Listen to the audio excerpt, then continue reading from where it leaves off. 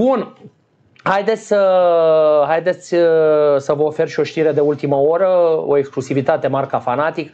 Uh, astăzi uh, se va bate palma. Daniel Pancu va fi anunțat mâine noul selecționer, noul antrenor de la Naționala Under 21 a României, naționala care a dezamăgit la campionatul european care a fost la noi în România în această vară, unde a fost Emil Sândoi, deci în locul lui Emil Sândoi uh, va veni Daniel Pancu, apropo de rapid, că tot vorbim de rapidiști, Daniel Pancu din informațiile fanatic uh, va fi anunțat mâine noul tehnician, noul selecționer al naționale Under 21, practic anticamera la echipa da. națională de fotbal a României, nu? Da. nu? Că despre asta discutăm. Da. Deci uh, Pancu va fi, mâine va fi anunțat în mod oficial, dar la fanatic am aflat sigur că lucrurile practic sunt închise și că Pancu va antrena uh, naționala Under 21, ceea ce, după părerea mea, o mare realizare, nu? Este o mare realizare și este o continuitate la nivelul băncii tehnice a, a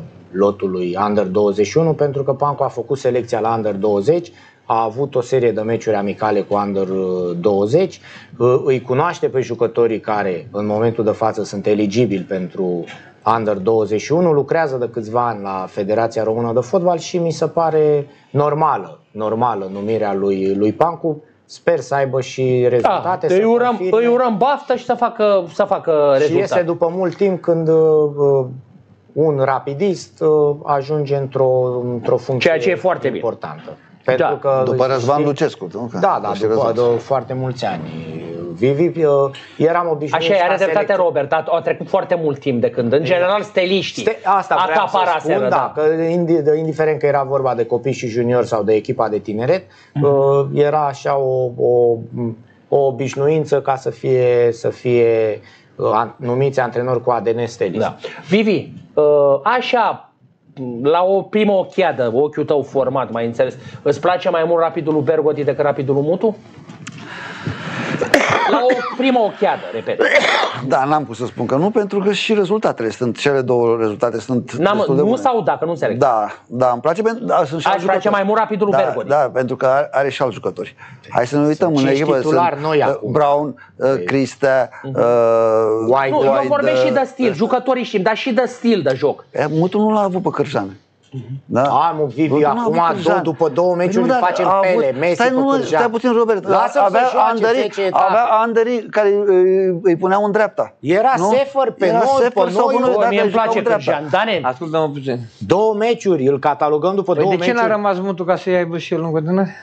Pentru că i-a dat azerii de patru ori mai mulți bani.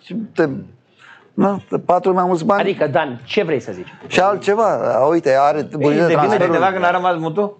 Nu, E cea mai iubită echipă, cea mai Trebuia, să te întreb ceva, trebuia să rămână? La conflictul pe care l-a avut cu galeria și l-a susținut galeria, eu spun că trebuie să rămână. Nu trebuia să plece, nu? nu? Și ținând cont și de faptul că proiectul practic al Rapidului s-a făcut pe el. S-a făcut pe el, trebuie să rămână. Nu și sunt de acord. Și doar o secundă, o secundă, de o secundă. Și că, scuză-mă puțin. Dar stai să tren... Când conducerea a vrut să te dea afară cu galeria, cu tot și totuși ai rămas. Da. Și te-a susținut conducerea. Te-a susținut, da. ai mai stat patru etape și ai plecat. Păi de ce? Mai stat de ce n-ai Hai că mă face să rămân fără servicii la Rapid. Hai Zi. să spun de ce. De ce? Eu am fost susținătorul lui Mutu înainte să-l numească la Rapid. Corect. Și, și pe bună dreptate. Și pe bună, și eu. Timpul mi-a dat dreptate. Timpul ți-a dat dreptate. Da. Eu chiar l-am propus